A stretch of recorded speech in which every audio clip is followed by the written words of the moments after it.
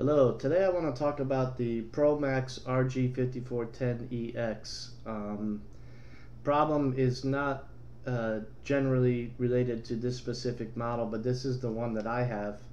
And I got a call the other day from one of our members that was saying he was having an issue recovering and that the tank would get to about 80-85 psi and, and, it just didn't seem like it was recovering anymore. Um, one of the things you could do is put your recovery tank in ice, but that's not always something you can do in a customer's home.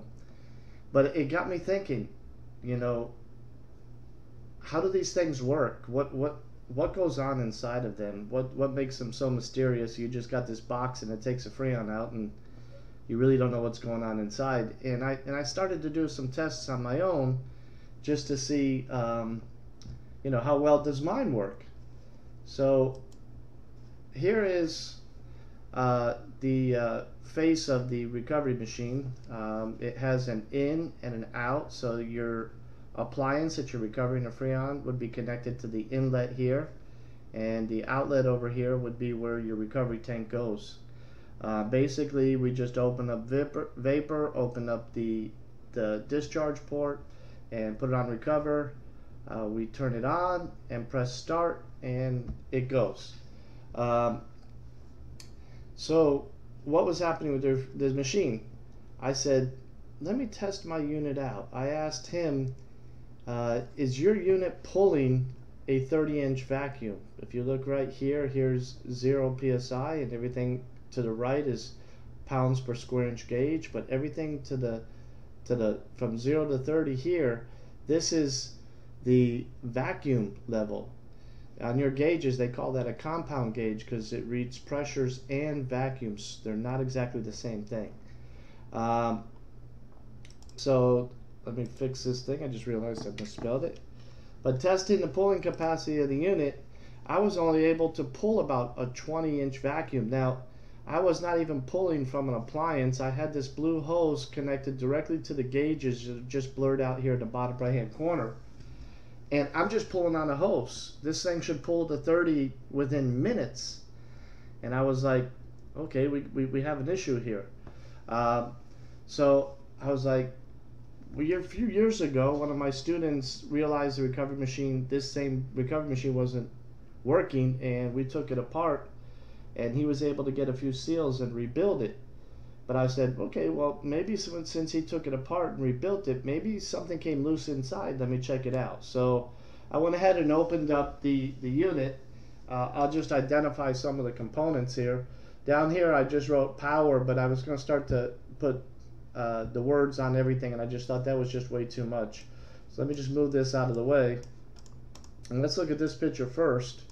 Um, if you look at it, we have a motor that looks very similar to almost like a trash compactor motor, like a Whirlpool trash compactor or an old dishwasher motor. And then this black portion that's attached to it is it's a coupling in there. I'll let you see a closer look later. This is the actual pump.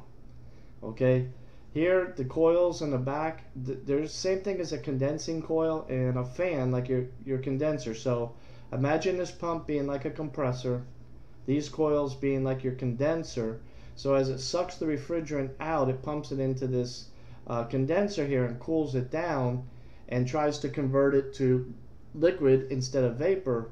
So when we pump it into the tank, it doesn't take up as much space in the tank. When you first do that though, if your tank's empty, as soon as it enters the tank, it's going to be like an evaporator. The freon's just going to turn to vapor. And over a period of time, if the temperature's not too hot, you should be able to pull it down. So um, this is our centrifugal switch here and you can see a capacitor on the top and this is also a capacitor here. Um, this little device right here and I'm going to highlight it this is a pressure control right here. This is connected to the inlet and I don't know whether it's high or low pressure but it is a pressure control. And um, if the unit exceeds too much pressure and it's not pumping as a safety device this unit will cut the machine off so let's take a look at the uh, at the other picture bring this to the front. This is the other side of the recovery machine. You can see the, the pump system just a little bit better. This is the top of the pump, and this is actually um, part of our, our discharge. Now if you look here, we have another pressure control here, and we have another refrigerant line in here. So this here is going to be our pressure or outlet going out of the recovery machine. So we have pressure controls on both sides of the system. You can see the other one just hidden behind here. Um, and we have two capacitors. The reason why we have two capacitors is that um, this unit has both a run and a start capa capacitor. Remember that we're trying to pump down refrigerant and to compress it. If there's slight refrigerant inside the system, we try to start it up, it's going to be very hard for the motor to start the pump. So we have these capacitors in there, one to help start it, and the other one is to help keep it smooth running. Now also there's another pressure control switch right above this capacitor right here. So I'm going to highlight all the pressure control switches. One, two, three. Now, most of them, I didn't test them, but most of them would be uh, normally closed. And then when the pressure comes into the contact with them, if it exceeds a certain amount of pressure, uh, it will open up a contact and just cut the unit off. So this is the inside of the system. So I opened it up thinking, okay, well maybe one of these flared fittings here, one, two, we have fittings all around. Uh, if we go to the other picture here, um, bring to front. We look at the other picture here, we, we have more fittings here, here, some more fittings here. So I was assuming, okay, if I'm unable to pull the proper vacuum, and this unit's been worked on, maybe something vibrated loose, one of these fittings, and let me just go in there, open it up, tighten everything down with a wrench. I went ahead and just tightened all of the flare fittings down and turned the unit back on again to see if it was able to pull a 30 inch vacuum and the unit just wasn't capable of doing it. So I decided, just like a refrigerator, if you're going to do a sealed system job, change a compressor, dryer filter, or something like that, you want to pressure test it to make sure it doesn't have any leaks. Uh, since this is more like a condensing unit and not a uh, evaporator, normally we tell you if you're going to pressure test a refrigerator for leaks, you don't want to exceed um, 100 psi just for safety reasons because the evaporator and refrigerator is made of aluminum and could get damaged. But this unit here, uh, I put it here. It says about 140. Uh, my gauges, uh, on my re, re, um, excuse my tongue here. Uh, my my gauges on my nitrogen tank tell me that I'm set to about 150, 160 psi, and I went only to about 130, 140 on my machine, and I started soaping all my fittings. So all I have is just the hose connected. When I checked it to see if it pull a vacuum, I had this very same hose connected to these gauges here. So when I was pulling a vacuum, it should have pulled a vacuum within a minute it shouldn't have taken that long. And I just couldn't get it down below 20 which is the same that one of our uh, members are having. So so here's a video of the unit as I was just checking for the leak. And it was a little hard for me to put my ear there and actually hear where the leak was coming from. So sometimes when the, the leak is happening you can just hear it hissing in the background. One second one second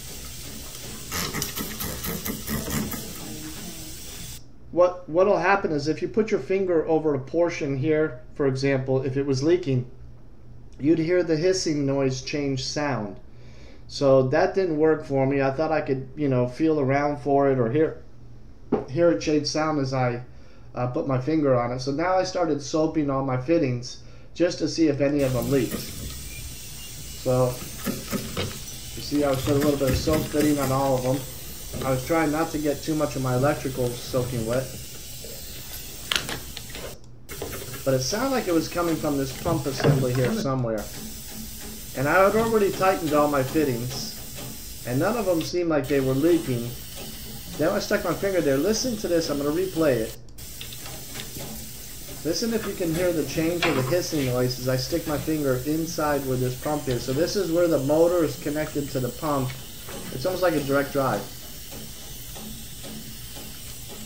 It was very slight. I don't know if you if you're able to catch it, but it seems like it was coming from inside. The so as I brought the camera closer, you could probably hear the hissing a lot better. Look right in this area, you're going to see where it's leaking on the shaft of the pump.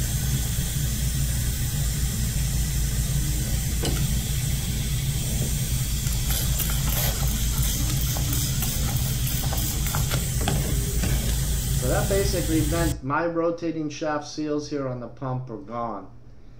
Um, I forgot to mention that when I was pulling a vacuum on the unit, let me go back to my um, pres presentation. When I was doing the vacuum here and trying to get a 30 inch vacuum, I just had a hose connected right to the gauge and the valve was closed. So we're only evacuating a three foot hose. As I was running this unit, I forgot to mention the other thing that I noticed. I would put my hand here by the outlet and I kept feeling air like it's coming out. And when you first turn it on, it'd be all right to feel air, but after about 20, 30 seconds, that's it. There should be no more air in this hose. It just kept pumping air. So I had closed this valve, and when I closed it, I started watching my high side gauge go up. It went as high as 100 psi. Remember, in this picture, I do not have nitrogen in here. I'm just pulling a vacuum to see if this unit's capable of pulling a decent vacuum. And when I did that, I'm getting pressure coming here, which means the pump was sucking in air from that leak that I showed you with the soap test. So I did a little research on the internet and found out that this unit has a parts breakdown. And basically here are all the parts for this recovery machine if I needed to repair it. And the one the most important was number eight. Number eight is the whole pump assembly where that's all I need to replace. Now a new recovery machine is about four to five hundred dollars. And when I did some research, this pump was about two hundred and seventy dollars. So most people I'm gonna tell you, I wouldn't invest the kind of money into a recovery machine that may be at least six to eight years old that had a lot of use um, I, I wouldn't do that. But as I did a little bit further research, I found that they have a seal kit that you can take the pump apart and you can repair it, and that's only 73 bucks plus $7 shipping. Where that's about 80 bucks. That's worth it for a $500 machine to get it working, uh, which I'm going to uh, order this kit and I'll take the pump apart and rebuild it and show you guys how I rebuild it. Um, I'll have to do that not next week, but the week after is uh, going out of town to Atlanta uh, for a Skills USA competition with one of my students. Uh, one day I will go ahead and live stream some of the competition so you guys can see what a appliance repair competition would look like. And this is the national one, so wish me luck or wish my student luck that look look forward to bringing back a medal. Um, if you have any questions, just leave them in the comments, and I will do a follow-up video when I return. Hopefully by then this kit will arrive, and uh, I'll, I'll get it tore down, and I'll do a quick video of tearing it down and rebuilding it, and I'll be replacing the seals and the bearings on the unit. Have a great one.